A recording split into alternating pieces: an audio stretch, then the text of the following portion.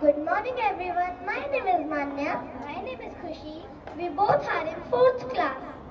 Today we all are today we are both are here with our speech on World Health Day.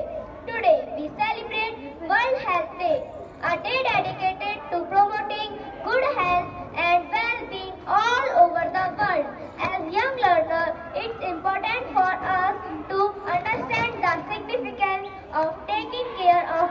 health.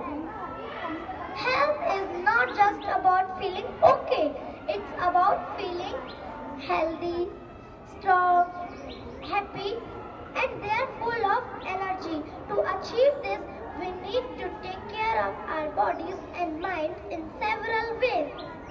Next, let's talk about next let we talk about good hygiene.